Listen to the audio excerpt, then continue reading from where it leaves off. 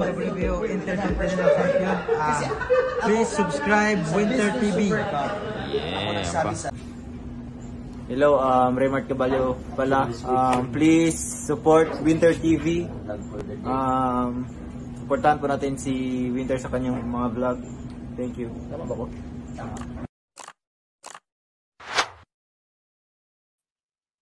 So, good evening, good day, boxing fans. So, welcome again to our boxing talk. So, of course, it's been a week since our last boxing talk. So, of course, sa pag-uusapan natin ngayon ay ang isa sa pinakamainit na talakayan kung bakit nga ba um, fighter of the year, si former unified super bantamweight world champion Marlon the Nightmare Tapales and of course, itong si former WBO minimum weight world champion, no other than Melvin El Gringo Jerusalem.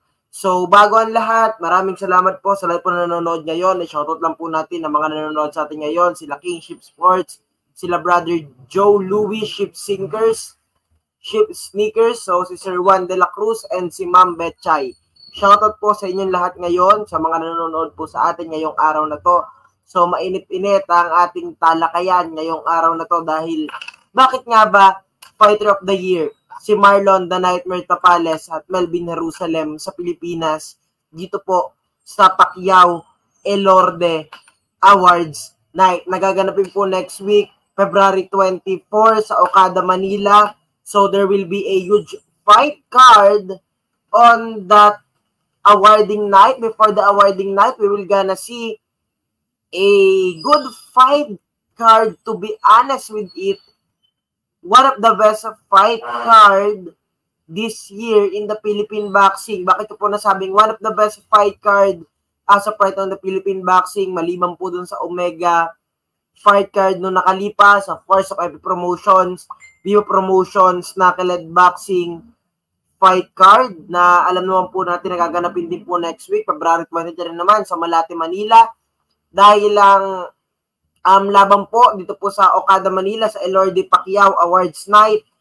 Masasaksihan po natin lumaban ang mga boksingerong ito. Sila Charlie Adtoon versus Jesse Delgado, Ramil Barrios versus Michael Asuncion, Emmanuel Bacosa Pacquiao against J. Clyde Langahin, Ronerick Balesteros, lalaban din po dyan itong si um, Ronerick Balestero, Roderick Ronerick Balesteros in a six-rounder fight against Kenshin Kedoguchi of Japan, Roderick Bautista against Raymark Ibones, and of course, one of the most awaited fight this year will be um, the former world-rated fighter, former WBC fly, WBA Asia flyweight champion Adrian, super flyweight champion, I'm sorry, Adrian Wild Bislerasa na si will gonna take on one of the prospect as of right now of the Sunman Boxing Gym, Arvidan Yega, who fought the best fighters like Saul Sanchez. And of course, the co-main event will be Jimel Pistolero Magramo as he will gonna take Dan Marquibido sa mga hindi po nakakilala kay Jimel Magramo, eh, galing po siya sa isang sikat na fighting clan in the Philippines, which is the Magramo family. Wa, isa po yan sa kilala po na fighting family dito po sa Pilipinas. Of course, his father, his uncle was a former fighter. Yung kanyang tatay, nakalaban po yan ni Manny Pacquiao. So, si Melvin Magramo. So, of course, the main event will between will be between two prospects, Nolly James Makilan and Benny the Bull Cañete for the WBC Asian Continental Bantamweight Vacant title. So, I'm sure this will gonna be a um, good fight card. And of course, don't forget the full fight card also in you know where it is Malate, Manila dahil masasaksihan, masasaksihan po natin ang homecoming fight ni Yumir Felix Marshall as he will gonna face Todd Sinam. Yumir Marshall who is a former bronze medalist in the Olympics in the middleweight division will gonna try to capture a another um another Olympic uh, medal. Right now, he wants to be a Olympic gold medalist on the upcoming 2024 Paris Olympics. But before that, he needs to face Todd Saksinam of Thailand in a 8-rounder bout. So, undercard po muna tayo. Jesus Magdayo of Survival Camp of Jeremy ng Kahas and Coach Joven Jimenez will face Michael Oranyo. And of course, Jidai Miyamoto, a Japanese fighter, will face Ernesto Kagampang. A debutant fighter, Miko Kamingawan versus Arnold Cordoba, um, bata ni Glenn Ford, Boxing Fitness Gym. And another Japanese fighter, Shokichi Yamauchi, will face the veteran Chrysler Tenorio, and the prospect at the 140 pounds division, Daniel Limi will face the veteran JR Magboo. Um, another one on this fight card will be Alejandro Patrick Menyano, if I'm not mistaken. This is the guy who is a Pilam fighter. Alejandro Patrick Menyano will face Dexter Eraya And of course, also on this fight card will be John Ricarcedo against Prel Tupas, Kevin Villanueva against Jeremy Banayad, Romer Pinili versus Kelvin Tenorio, and from MP Boxing Gym Davao, Pipito Masangkay of Davao will face Jules Victoriano, and Brian Cabrillos against Sam Jopet Enanyo on the co-main events will be Gerald Into against John Himino. These guys, I think this will gonna be a slugfest in the firefight. Of course, also there on the co-main event, Samuel Salva, the former IBF World Title Minimum Weight Challenger, will face the veteran Chris Ganosa. Also on the fight card, no other than being called as the Filipino Matrix, They call this guy as a Filipino Lomachenko, Leonard Sarcon versus Peng Wang in a super bantamweight fight, eight rounders fight, and of course, the main event of the evening will be Yumir Felix Marshall against Todsak Sinam of Thailand. So what are you waiting for? Be there, guys. Watch this full fight card. They're definitely gonna be there. Not gonna miss this fight card brought to you by Manny Pacquiao MP Promotions, Viva Promotions, Knuckleheads Boxing, Elordo Promotions, and of course, Sunman Boxing Promotion. So definitely, this is such a good fight card. I would really love to see this fight. Of course, napakaganda ng fight card natin na Manny Pacquiao's MP Promotions. Literally, a star-studded fight card, I'm sure, is it. A star-studded fight card Maybe we're gonna see also some fighters like Vincent Astrolabio, Marlon Tapales will also gonna be there. There's a confirmation from his head trainer, Coach Ernel Pontanilita, that will gonna be there. I don't know if uh, Astrolabio will gonna be there, but definitely I think he will gonna support um his stable mates like um like these guys um Pipito Masangkay and Leonard Sarcon. Jervin Angkas could also be there as his stable mates Jesus Magdayo, Daniel Lim, and Samuel Salva will gonna be there. So don't miss this fight card as baka marami mga boksingero, marami mga world champions ang naandon sa laban na to. Of course, maybe the senator himself, MP Promotions um, CEO Manny Pacman Pacquiao will gonna be there on that um, star-studded fight card. So, kakabalik lang po pala ni Yumir Marasal sa Pilipinas yesterday. Kasama po niya ang uh, tatay ni um, Zamora, Dremel, ano yun? Dex, ano yun? Dremler Zamora. So, sa mga hindi po nakakilala po kay Dremler Zamora, eh, isa po siyang prospect na gusto po yata siyang kuwain. Dremler Zamora, I'm sorry, na gusto din po yata siya kuwain ng Golden Boy Promotions. The guy is campaigning at the super featherweight division. They are considering this guy as one of the possible next star on the Philippines. Hopefully, he will gonna be one of the next stars in the Philippines. He fought some great Mexican fighters. Although, alam naman natin na hindi man ganun kakalibre, eh at least sa kalaban na siya ng mga Meksikano sa Tijuana. Right now, he is just 20 years old. He is called as the War Machine. Kasama po siya ni Yumir Marshall. Lumapag po ng Pilipinas si Demler Zamora kahapon lamang. And of course, we will gonna have some fight announcements later on on this um, boxing talk. So, catch these things up dahil hindi nyo papalagpasin ng mga parating na laban. Nakakasigurado ako dyan. And of course, it's fight week. William Camaron Cepeda against um, Maxi Huge. So, don't forget also to watch that fight card it is for the WBA and WBC Lightweight World Title Eliminator. So, balik po tayo sa ating pong topic for today which will gonna be ang tunay na dahilan kung bakit Fighter of the Year si Marlon Tapales at Melvin Jerusalem sa Pacquiao Elorde Awards Night. Marahil nagtataka kayo, natalo yung dalawang boxer last year. But huwag nyo kalimutan na before sila matalo, eh nakasungkit po sila ng kampyonato. Alam ko marami nagtataka bakit daw yung mga talo ang binibigyan ng Fighter of the Year Award. Bakit daw hindi si Casimero? Nanalo naman daw last fight, si, nanalo naman daw si Casimero last year ng isa, merong isang technical draw. Bakit nga ba? Bakit nga ba? Well, una sa lahat, simulan ko na ba, boxing fans? Simulan ko na ba kung bakit itong mga boksingero na to, eh, piniling Fighter of the Year ng Pacquiao Elorde Fight Awards? Napakasimple lang ng dahilan dyan. Pero iba kinokontra nila yung pagiging Fight of the Year winner nila Melvin Jerusalem at ni uh, Melvin Jerusalem at ni Marlon Tapales. Kesyo natalo daw si Jerusalem kay Oscar Colyaso, which is a clear um, retired corner victory for Oscar Colyaso where he lost that belt, the WBO belt. Kesyo natalo daw si, kaysa gumapak daw si Marlon Tapales kay Naoya Inoue. But don't forget, kahit na natalo siya kay Naoya Inoue, eh nakapag-uwi po siya ng kampyonato sa Pilipinas. Nakapag-uwi siya ng world title sa Pilipinas last year at lahat po doon ng mga tao eh nagsaya doon sa panalong yun ni Marlon Tapales.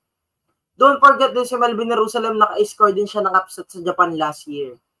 Huwag nyo kakalimutan na pinaggulong, gulong ni Melvin Jerusalem yung masatakata ni Gucci na very favorite doon sa laban na yon. So ngayon, titingnan nyo yung pagkatalo lang ng dalawa, it is not about that. It is not about that na natalo sila, hindi na sila pwede maging fighter of the year. Kung Ring Magazine yung mag-award, pwede yan, hindi talaga yan bibigyan. Pero this is sa Pacquiao Elorde Awards night. Eh kung Ring Magazine to, sigurado hindi naman talaga bibigyan yung dalawa. Eh kung Boxing Scene to, hindi rin bibigyan yung dalawa. Kung ESPN to, hindi rin to bibigyan yung dalawa. Pero iba to Pacquiao Elordes. Pacquiao Elorde Awards to. Sa Pilipinas lang to. Eh sino kung bibigyan nyo ng sino bibigyan nyo dyan ng Fighter of the Year Awards? Kasi Vincent Asfarnabio, kung nanalo lang din siya last year ng world title, definitely, gonna, his name will gonna be there, I'm sure. Sure yan, kung nanalo dun si ano, kung si Astrolabio kay Maloney, it will gonna be also a fighter of the year um, awardee. I'm so I'm sure about that. But he lost against that guy, Jason Maloney. By the way, um, Vincent Astrolabio is waiting for the mandatory mandatory title chance against Junto Nakatani who just won the belt against Alexandro Santiago Barrios. So be ready, Junto Nakatani the champ might have the chance to get this crown.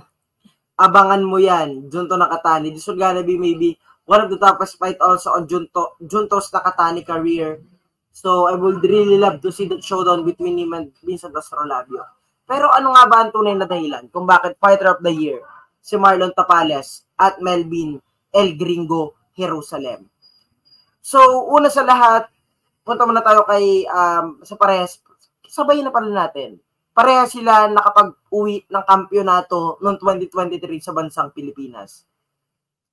After many months of drought for no world champions for the Philippines, after malagasan tayo ng world champion in 2022, unang nalagas, of course, sin, um, unang nalagas si Jerwin ng Kahas, sumunod si General Casimero, sumunod si Nonito Donaire, si Mark Magsayo, 'di ba? So sunod-sunod po yung pagkakawala po natin ng world champions diyan during that year 2022. Not a good year for the Philippines really during that time. So nakakuha po ng world title si Melvin Jerusalem against Masataka Taniguchi way back 2023. So kaya wag na po kayo magtataka kung bakit ngayon na awardan yung dalawang boxingero na to ng Fighter of the Year eh, obvious naman po na nakapag-uwi po sila ng kampyonato dito po sa bansang Pilipinas. Melvin Jerusalem that fight against um, Masataka Taniguchi. No one is expecting that Melvin Jerusalem will gonna win that fight. Mga Pinoy lang po ang naniniwala mananalo si Masataka Taniguchi. Ah, si Melvin Jerusalem kay Masataka Taniguchi. Kakaunti po naniniwala na mananalo si Melvin dito po kay Masataka Taniguchi by knockout they are really thinking that this guy, Melvin Jerusalem, will gonna be defeated by Masataka Taniguchi. Yan yung paniniwala nila. Pero di nila alam, they are um, inactive yung kampo ni um, Melvin Jerusalem dun sa laban na yun on the first round. But, you know, definitely, they are setting up something. That was the straight right hand It was the straight right hand of Melvin Jerusalem right on the face of Masataka Taniguchi that scored a heavy knockout victory for Melvin Jerusalem. Remember that Melvin Jerusalem is an orthodox fighter and Masataka Taniguchi is a southpaw fighter. Alam nyo naman, when it comes to southpaw versus orthodox, it is really the cross or the straight shots kung dyan na put you down dahil magkakontrapelo kayo And nasa lubong ni Masataka ni Gucci yung straight right hand ni Melvin Jerusalem at ang kinalabasan po nun ay eh, gumulong po itong si Masataka Taniguchi. Kaya yun po ang dahilan kung bakit po nakapag-uwi po ng Fighter of the Year si Melvin Jerusalem ngayon dito po sa Pacquiao, first Pacquiao Elordes Awards night. Kaya wag na po kayo magtataka because of that win. But let's go back to the track of Melvin Jerusalem. Of course, after that one, the WBO ordered a mandatory title defense for Melvin Jerusalem against the famous Oscar Colyaso, the guy known as El Pupilo of Puerto Rico, who is an aggressive and a very good fighter. Oscar Pupilo Colyaso was also a good fundamentals na kinuha po niya yung belt ni Melvin Jerusalem. During that fight, Melvin Jerusalem is doing well on the first three rounds. But suddenly, you know what happened? You know what happened is hindi ko alam kung um, nakapag-ano ba, kung nakapag-adjust ba talaga yung kampo ni Melvin Jerusalem doon sa tinatawag nga natin na klima because it's just a few days before the fight bago sila dumating. But it looks like na jet lag yung nangyari doon sa laban na yon. Na jet lag yung kampo ni Melvin Jerusalem na jetlag si Melvin dahil nga na-delay yung visa niya. So, yun po ang kinahinat na nanon na si Melvin Jerusalem natalo po siya by a retired corner. Of course, he is absorbing many shots on Oscar Colyaso but definitely he is doing well on the fight. He is doing well on that fight, di ba? He is doing well on that fight. Before na mag-iba yung body language niya, he became even more flat-footed. Yun yung naging masama dun eh. He became a stationary target of Oscar Colyaso. Yun po yung nangyari doon sa laban na yon. Yun po yung naging history ng laban na yon na he became a punching target of Oscar Colyaso after that first three rounds. But definitely, he's doing well on that fight before that happened. Then after that, nakabalik naman po agad si Melvin Jerusalem with a unanimous decision victory this past um, October 29 against Francis J. Diaz, um, he won that by a clear unanimous decision, 79 to 73. All but three judges scored about 79 to 73 in favor of Melvin Jerusalem. So, bakit ba hindi dapat bigyan ng award si Melvin Jerusalem? Dahil lang doon sa natalo siya. Obviously not, hindi yung makatarungan dahil natalo siya, hindi na siya bibigyan ng award sa Pacquiao Elorde Award. Dahil si Melvin Jerusalem, nanalo siya ng kampyonato para sa Pilipinas. Hindi lang yung para sa pamilya niya, hindi lang yung para sa kanya, pero para yun sa bansa. Karangalan yun ng bansa yun ay uwi ni Melvin Jerusalem. Dahil tandaan natin, wala tayo ng world champion. He is the first Filipino world champion in 2022 before having Marlon Tapales. Then suddenly, nawala yung belt ni um, ni Jerusalem dahil natalo nga siya kay Colyaso. Then ito na nga. Then ito na nga tayo napunta na kay, yung belt kay Colyaso. So, ganun po ka-importante. Kaya po naging fighter of the year itong si uh, Melvin Jerusalem. Kaya wag na po kayo magtaka kung bakit po naging world ah naging fighter of the year sa Pacquiao Elorde Fight Awards itong si Melvin Jerusalem. So let's go to Marlon the Nightmare Tapales. Alam ko marami pa mga nagiiyakan tungkol kay Marlon Tapales na Kesyo Boy Gapang daw, Kesyo Boy Luho daw si Marlon Tapales. Eh, Kesyo dinominate daw ni na Oya Inoue. Kesyo wala daw magandang ginawa si Marlon Tapales sa labang kay na Oya Inoue. Kesyo puro depensa lang daw. Pero di ko alam kung ano yung pinanood yung laban. But for us, for some boxing fans, they really think that Marlon Tapales gave his best. He did his best. He did a lot of great job on that fight pushing na Oya Inoue to his limits, trying to bully na Oya Inoue, nagbabato siya ng maraming suntok, hindi siya natatakot matamaan at matumba. Pinakita niya doon ang pusong Pinoy ni Marlon Tapales. So bakit? Bakit na? Bakit nga ba naging Fighter of the Year din itong si Marlon the Nightmare Tapales? Mamaya pa ko gabasa ng comment boxing pa. Sa comment lang kayo dyan, babasahin ko po yan maya-maya. So, una sa lahat, si Marlon Tapales po, this guy won, he just won two of the most important belt in the super bantamweight division. Nakakuha po siya ng dalawang strap. Kumbaga nga sa puzzle, eh, apat ang piyesa ng puzzle na yon, nakuha niya yung dalawang piyesa. Nakuha ni Marlon Tapales yung dalawang piyesa ng puzzle na yon. Yes, he scored an upset split decision victory against Murodjon MJ Akhmadaliev. Imagine that. No one is believing that Marlon Tapales will gonna win against Murodjon Akhmadaliev. But you know what happened on that fight? He scored an upset. He scored an upset. He did well on that fight. Trying to outbox the outboxer. It is really hard to do it. Eh, nagpakarik na yung Murodjon Akhmadaliev eh nakita niya yung sarili niyang muka, nakita niya yung sarili niyang estilo doon sa Marlon Tapales. 'Di ba? Nakita ni Ahmad Aliyab yung sarili niyang estilo. Ganun pala yung ginagawa ko. Ba't ginagawa ngayon ni Tapales? Hindi yun in-expect ni Ahmad Aliyab na ganun Marlon Tapales yung makikita niya. Because he is, he is expecting that the Marlon Tapales he will gonna see is the slugger version of Marlon Tapales. Sometimes Marlon Tapales is such an unpredictable fighter. Is such an unpredictable boxer, unpredictable puncher. That's Marlon Tapales. I really give him a lot of credit on the Taoya Inoue fight for doing well. But let's focus on this, on his win against Murodjon Akhmadaliev. Why he deserves this um, Elorde Pacquiao, Pacquiao Elorde Awards. He really deserves this.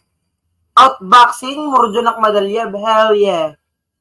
The guy is one of the deadliest puncher in the super bantamweight division. The guy is known for his punching power, for his amateur degree, for his um, boxing fundamentals. Sige nga, kung lalaban si Marlon Tapales ng flat-footed, do you think? Na makakasira doon si Marlon Tapales? Posible pa kung makikipag-slag din siya. Pero it's very risky fight. So nakagawa ng technique itong si Coach Ernel Pontanilla na Marlon, di natin yan sasabayan gagawin natin yung gusto niyang laro, pupuntos-puntosan natin itong si uh, Murodjon Akmadaliev. Which happened naman, um, I think nakapag-adjust na si Murodjon Akmadaliev past 6 or 7 rounds na, which is very too late na for Murodjon Akmadaliev to adjust. And kita nyo, siya na ngayon nag-move forward, siya na yung nag-initiate ng si, Mar si Marlon Tapalit siya nag-initiate ng laban kasi kita-kita nyo pa lang, ring generalship, defense, cleaner punches, mabibigyan nyo yung lahat kay Marlon Tapales. Effective aggression din mabibigyan nyo kay Marlon kasi may mga instances siya doon pumapasok and nagiging effective yung mga pagpasok niya doon sa laban na yon. Which is nakaka-score siya. Another thing doon, I want to give credit for the left uppercut of Marlon Tapales right on the pocket, right on the chin of Murodjon Akhmadaliev which is such a very, very good um, which is such a very, very, very good technique na ginawa nila ni Coach Ernel Pontanilla. In the end, it is a split decision victory in favor of Marlon Tapales. Marlon Tapales won the belt. Nagsaya ang buong Pilipinas, of course. Nagulat ang mga marami mga boxing fans dahil tingin nila el llamado uh, dihadong-dihado nga si Marlon Tapales kahit nga sa betting odds dihado si Marlon Tapales pero nakita nila yung ginawa ni Marlon Tapales at naging impresibo yung panalo ni Marlon Tapales doon sa win na yon. Yung sa ibang mga boxing fans, di ko alam kung nang impresibo. Pero doon sa mga literal na boxing fans, siguradong impresibo yung para sa inyo. Pero sa mga casual fans lang, eh siguradong babatikusin niyo si Marlon Tapales. Dahil doon sa hit and not to be hit na ginawa ni Marlon Tapales. But I really love that performance of Marlon Tapales. It is one of the best performance of Marlon Tapales on his career. So let's focus on that Inoue fight. So after that victory against uh, Murodjon Akmadaliev tried to face the monster na Oya Inoue. It's the nightmare against the monster December 26 of 2023 which is a very very um, entertaining fight between Tapales and the Oya Inoue.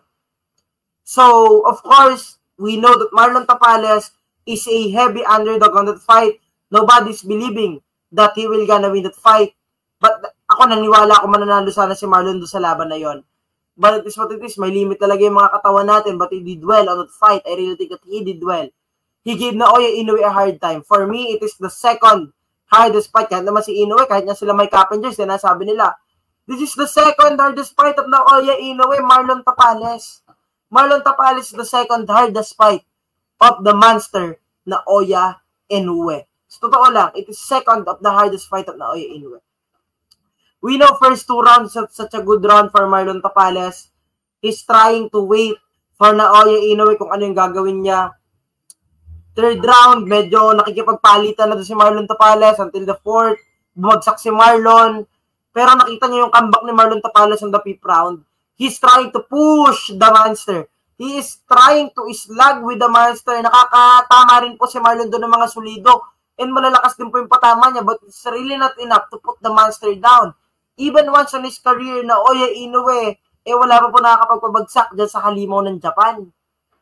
So he really did a lot of great job. But may mga may mga pagkukulang lang din pero hindi ko alam kung sinadya ba yun ng team niya about sa lead foot dominant na sana kung plano nila magagalaw or kung tingin ko kasi baka naging plano nila um baka kasi naging plano nila doon is ano eh baka naging plano nila doon wag mag-stay out of the pocket kasi yung paa kasi ni Marlon Tapales nandun sa loob ng lead foot ni Naoya Inoue. Maybe their plan is to put the monster in a sleep at hindi pumuntos.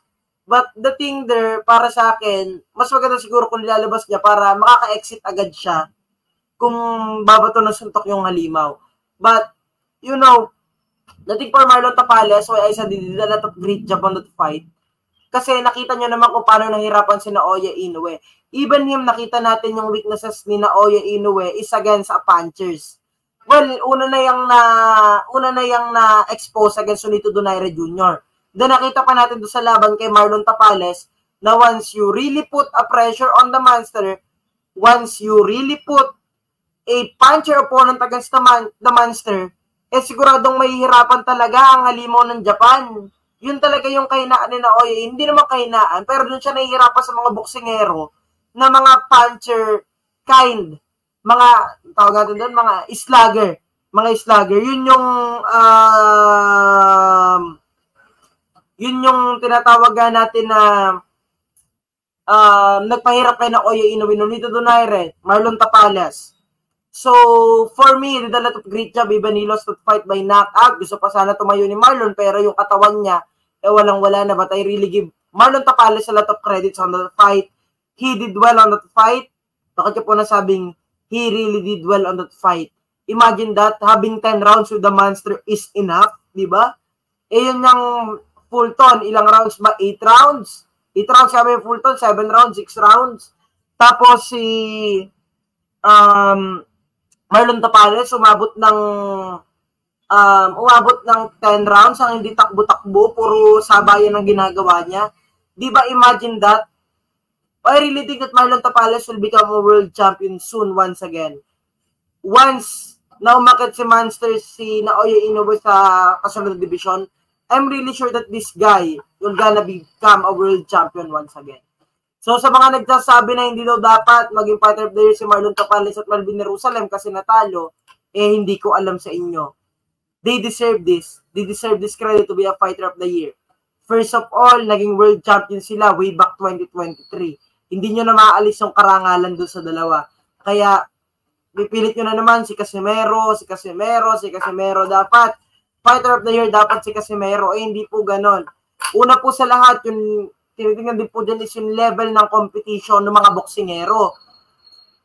Yun po pala yung pangalawa. Kaya po, nabigyan po itong dalawa ng award because of the level of the opposition of these opponents.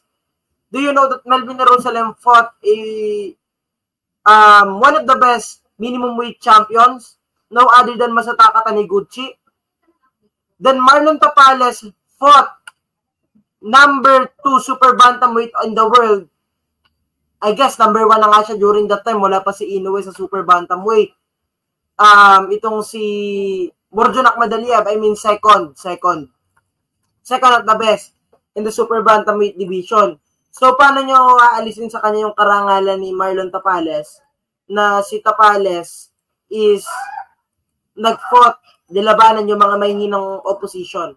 Do you think may sinasabi yung General Casimero? Sorry sa mga boxing fans, ako nadadami na naman si Casimero. Sorry din kay General kasi pinipilit nila is i-drag si General Casimero dito. So, the thing here is yung level of opposition ni Casimero. Imagine that 2023, he fought Filipo Situmbua. I, I guess during the time is rank number 10, rank 13 or something, 12, basta ganon. Um, do you think that guy is an elite fighter? Do you think that guy is an A-class fighter? No, that guy is not. Nahirapan pa doon si Casimero. Yung performance pa doon ni Casimero, hindi impresibo katulad ng dalawa ni Tapales tsaka ni Jerusalem. Na ginawa nila yung best nila, pinakita nila yung kung anong abilidad nila. Yung kay Casimero, maganda naman yung ginawa nila kay Pilipus. Pero ang nangyari kasi doon is nag-gas out siya pagdating doon sa final minutes of the fight. Yung middle rounds tsaka yung latter rounds, napagod si Casimero. Yung Yukinori Oguni, although it is a great opposition naman sana, but the guy is a retired fighter. The guy is a retired fighter. Yung po yung ano dun eh. Retired fighter po yung kaya hindi po talagang bibigyan si Casimero doon ng Fighter of the Year award. And another thing there is naging technical draw pa po naging technical draw pa po yung laban dahil po sa accidental head clash. Yun po ang nangyari doon sa laban na yon. Kaya kahit nga si Vincent Astrolabi, di ba, hindi nga siya nagkameron kahit nanalo siya ng WBC um, title eliminator. But although, I think, kung nanalo siya ng laban niya kay Moloney, baka mabigyan din siya ng award na ganito. Nakakapanginayang lang din yung laban na yun. But definitely will gonna be back stronger. So, basa po muna tayo ng mga comments. Real Talk 2023 si Tapales at Jerusalem World Champion. Natural sila, Fighter of the Year, tsaka si Tapales high profile mga laban. Alangan naman gawin Fighter of the Year yung puro tune laban. That's my that's my opinion, Sir Ron says. Tama ka. Parehas tayo ng opinion. High level opposition talaga pinagkaiba. Is it unfair? It's unfair, but walang hingal up there. Loko talaga si Rolando Yepes. Sorry guys, kakagaling ko lang din kasi sa flu. Kumpara mo naman si Ahmad Aliyev, Inoue, Tanigot, Chet Colyaso nung kay ni Tumbo at Uguni.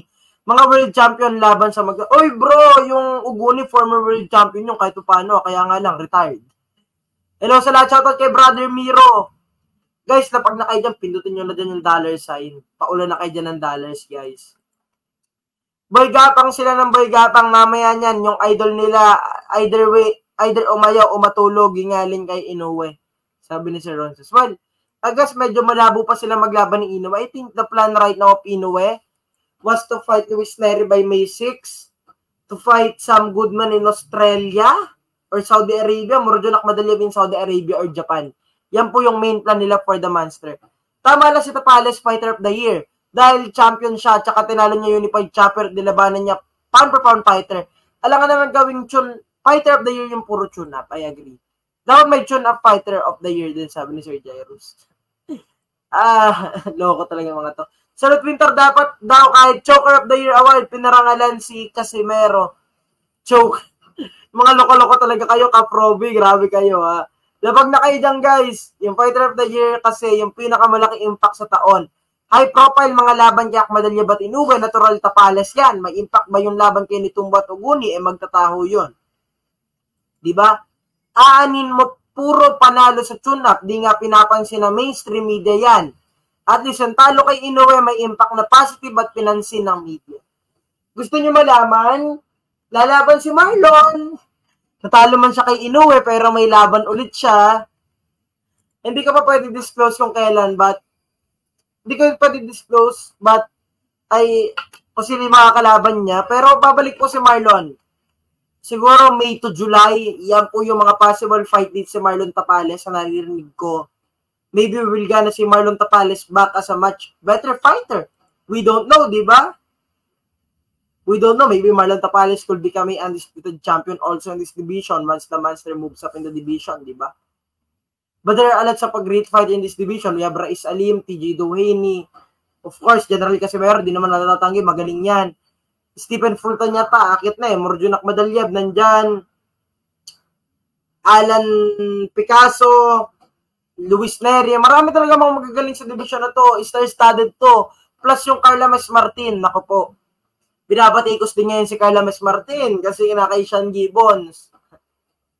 Comedian boxer of the year pwedeng ibigay sa kanya, sabi ni Caprobi. So, magbibigay lang po ako ng some updates and boxing news before we end our boxing talk today. So, do you know boxing fans?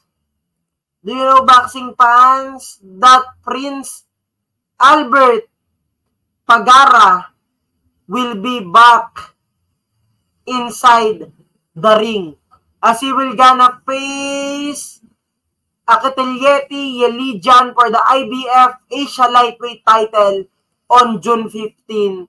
On Cebu, I'm waiting for the comeback of the Prince. The boxing fight will be promoted by businessman, sportsman Lorenzo Chausi. June 15, Albert Pagara versus Akitelyeti Yelijan for the IBF Asia Lightweight title. And of course, don't forget, it's now official. Andrew Moloney versus Carlos Cuadras for the WBC interim title, super flyweight title of um, the guy named Carlos Cuadras, the guy is a former world champion. So I guess it will be a hard fight for both of them. Um, both of them are a stylish fighter. Um, iba rin yung galaw ng Quadras, but I think he's now way past of his career. But I really think that he can still pull up an upset against Sandro Moloney. I'm thinking that um, this guy could pull up another victory here after defeating Pedro Guevara last time, di ba? Hindi natin alam, baka mamaya mas better itong ano lalo na baka may dala pa yung panganong Andrew Moloney, yung Carlos Cuadras hindi man um although yung Carlos Cuadras ay tinatawag nga natin na matanda na, di ba? Nag nag-reflect ngayon doon sa laban niya kay ano eh, kay Bam Rodriguez, pero di natin alam kasi di ko pa rin napapanood yung last fight niya kay Pedro Guevara. Pero titingnan ko, papanoorin ko ya, analyze ko pa rin yun. Eh, yung pinagkagawa ni Casimero, di naman award worthy. More like meme worthy siya. Kaya nga, ginagawan siya ng memes. Wait lang ha. Gusto ko kasi yung tropa ko seminarista. Kaklase ko dati nung grade 10. Grade 1 to grade 10. So, kausap ko siya ngayon. Grade time nila. So, yun nga. Asa na tayo. So, another boxing news will be Shakur Stevenson to make his return and first WBC lightweight title defense this coming July 6. Abangan nyo po yan, Shakur Stevenson will gonna make his return. Abangan nyo yan. Of course, Sam Goodman, tinalo po niya kahapon ng Filipino-Australian. Um, the Filipino-Australian Mark Schlibs by fourth round TKO last night. Grabe po yon And according to Jake Donovan of Ring Magazine, Brandon Figueroa versus Jesse Magdalena showdown being planned on Canelo versus Munguia fight card. And pinaplano din daw yung Demetrius Andrade versus um, David Morel for the WBA title. I guess it will be David Morel who will gonna get the last lap. So, yun lang muna mga boxing fans for today. Next week, kita-kita tayo sa Ninoy Aquino Stadium. Um, Yumir Marshall versus um, Todd Saxinam, Leonard Sorocon versus Peng Penwang. So, intay ko kayo doon. Kita-kita tayo mga boxing fans. And of course, don't forget to subscribe Winter TV. So, hatid ko sa inyo mga videos. Pero dahil mag-live, papakita lang tayo ng mga fights after the fight. So, see you again.